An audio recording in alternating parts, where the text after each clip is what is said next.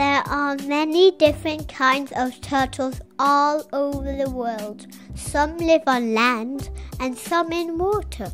In British English, land turtles are called tortoises. We have a large tortoise in our garden.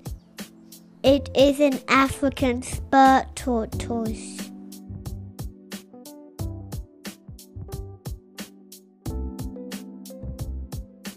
It is 70 centimeters long and very heavy. It has a thick and hard shell above it and below it.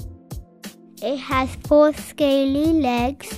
It can pull its head and legs into its shell to protect itself when it thinks it is in danger.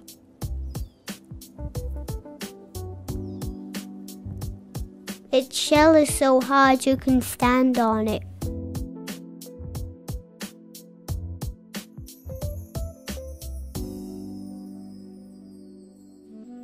It has a long neck which it extends when it is eating or drinking. It likes to eat grass and succulent plants. Our cook Gettinesh told us it likes tomatoes, so we tried feeding it tomatoes, but it didn't want them. The birds ate them instead. It likes the grass.